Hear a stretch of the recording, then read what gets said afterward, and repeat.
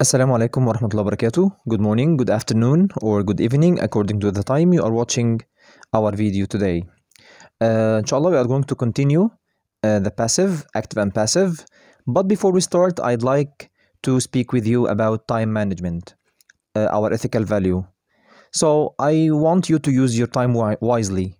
Maybe you are now in uh, like a vacation or something, but you can play and do the things you like and enjoy, but also you should do the things that benefit you. Like you can, uh, uh, you should watch our videos, you should answer, you should study somehow.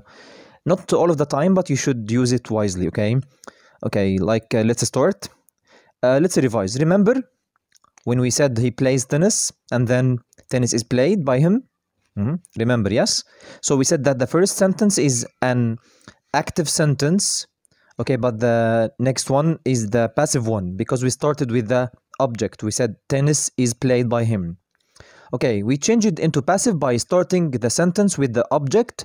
Then we used verb to be, like am or is or are, in the present tense. Then we put the past participle. Okay, we spoke about this last time. Okay, now, so now look at the look at this sentence and tell me what is different. Okay, now you have to look at this sentence and tell me what is happening. Okay, he played tennis. Tennis was played by him.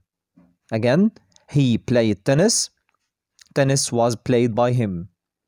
What tense is used here?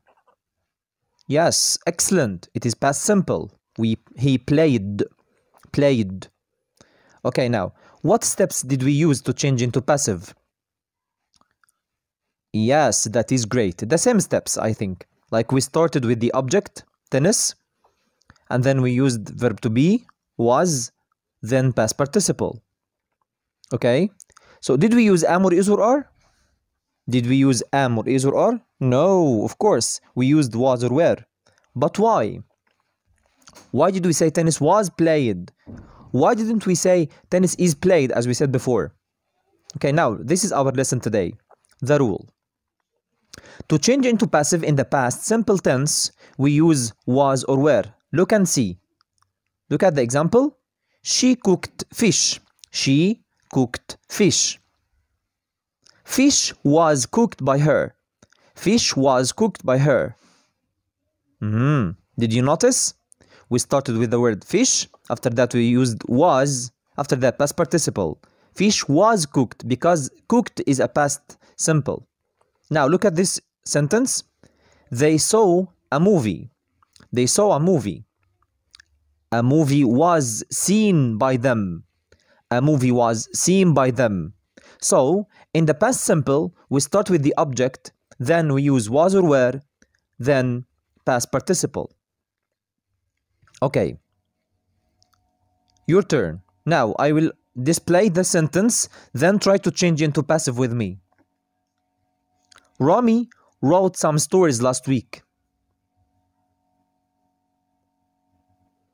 Yes, some stories were written by Rami last week. Some stories were written by Rami last week. So we started with the object, some stories. After that, we used were because stories are plural. Then we put the past participle. The second example Adam spoke Italian, Italian in the meeting. Adam spoke Italian in the meeting. Excellent. Italian was spoken by Adam in the meeting.